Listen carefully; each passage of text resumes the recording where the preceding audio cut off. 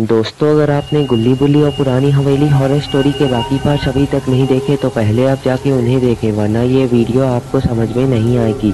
पिछली वीडियो में आपने देखा था कि कद्दू पहलवान और गुल्ली घर के अंदर बिना कुछ सोचे समझे आ जाते हैं, लेकिन तभी गुल्ली को आग जलती हुई दिखाई देती है, और वो कद्दू पहलवान को रुककर आग को देखने लगता है, और वो सोचने लगता है कि यह आग आखिर किसने जलाई होगी।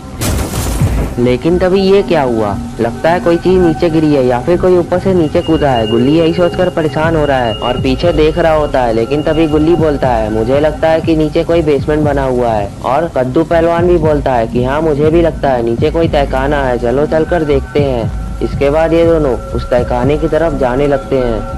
तहखाने के पास आते ही कद्दू पहलवान अंदर जाने के लिए तैयार हो जाता है और गुल्ली बाहर ही खड़ा हो जाता है। और इसके बाद कद्दू पहलवान अंदर जाने लगता है और गुल्ली उन्हें देख रहा होता है। लेकिन कद्दू पहलवान को अंदर कुछ दिखाई नहीं दे रहा होता है। तभी गुल्ली पूछता है, क्या हुआ अंकल? आपको सौन मिला? या फिर क्या चीज़ है? कोई चीज़ आपको दिखाई दे रही है? अगर दे रही तो मुझे जल्दी से बताइए। लेकिन कद्दू पहलवान को तो कुछ भी दिखाई नहीं दे रहा होता और फिर वो बोलता है, गुल्ली मुझे कुछ भी दिखाई नहीं दे रहा। अंदर काफ़ी अंधेरा है। तुम जरा टॉर्च वॉर्च रखे हो तो जला कर दिखाओ, क्योंकि मेरा फ़ोन तो मेरे घर पर ही है। अगर तुम्हारे पास तुम्हारा फ़ोन है तो जल्दी से मुझे दिखाओ।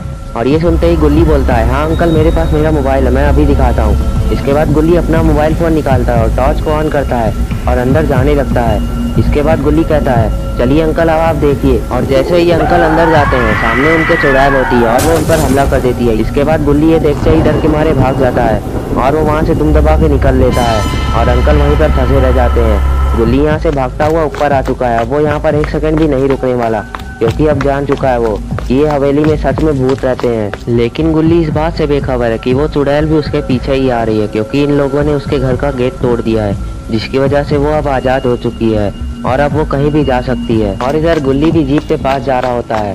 थोड़ी में वो जीप के पास पहुँच जाता है। जीप के पास पहुँचते ही गुल्ली जीप में बैठता है और उसे स्टार्ट करता है और उसके घुमा कर वहाँ से निकल जाता है। गुल्ली को लगता है कि अब वो बच चुका है। और अब वो सीधे बुल्ली के पास जाएगा और बाबा को बुलाकर यहाँ पर आएगा और फिर सोन और अंकल को बचाकर यहाँ से ले जाएगा। लेकिन गुल्ली को शायद ये नहीं पता है कि चुड़ैल भी उसका पीछा कर रही है और अब वो उसका पीछा नहीं छोड़ने वाली। और इधर चुड़ैल भी रोड के पास आ चुकी है। रोड पर आते ही वो देखती है कि गुल्ली यहाँ से गायब है और वो जीप लेकर भाग रहा है। ये देखते ही चुड़ैल को गुस्सा आता है और वो एक बहुत ही खौफनाक तरीके से दौड़कर गुल्ली का पास आने लगती है वो बहुत ही तेज़ी से गुल्ली के पास जाती है और तभी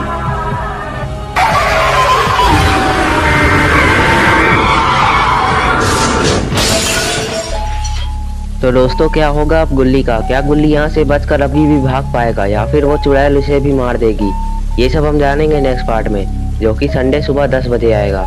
तो दोस्तों, अगर आप नेक्स्ट पार्ट देखना चाहते हैं तो इस वीडियो को लाइक करें। चैनल को सब्सक्राइब करना और बेल आइकन दबाना ना भूलें।